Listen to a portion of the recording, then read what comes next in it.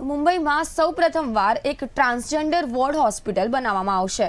મુંબઈમાં આરક્ષિત ત્રીસ પઠારીના ટ્રાન્સજેન્ડર વોર્ડનું ઉદ્ઘાટન તબીબી શિક્ષણ મંત્રી ગિરીશ મહાજન દ્વારા કરાયું.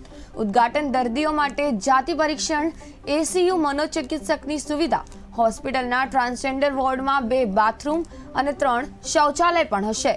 તમને જણાવી દઈએ કે તબીબી શિક્ષણ મંત્રી ગિરીશ મહાજન દ્વારા પ્રથમ ટ્રાન્સજેન્ડર વોર્ડનું ઉદ્ઘાટન કરાયું. ટ્રાન્સજેન્ડર માટેના વોર્ડમાં ત્રીસ બેડરૂમ છે. તેની સાથે સાથે જ બાથરૂમની પણ વ્યવસ્થા કરાઈ છે.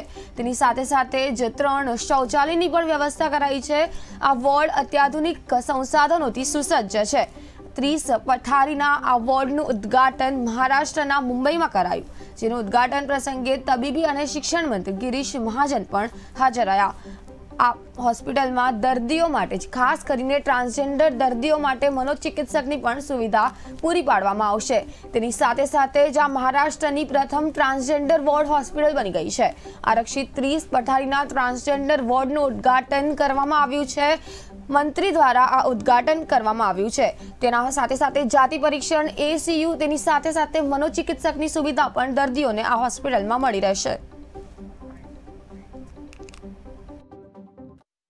अगर आप सिर्फ़ एक महाराष्ट्र जैसे एक जगह देखें जो इंडिया का आर्थिक कैपिटल है वहाँ पे ही अगर हमसे मुंबई की जनगणना देखी जाए तो करीबन सत्तर हज़ार तृतीय पंथी के वह ट्रांसजेंडर हिजड़ा समुदाय के लोग हैं। तो उनके लिए तो फ़िलहाल ये बहुत ही इम्पोर्टेंट स्टेप है।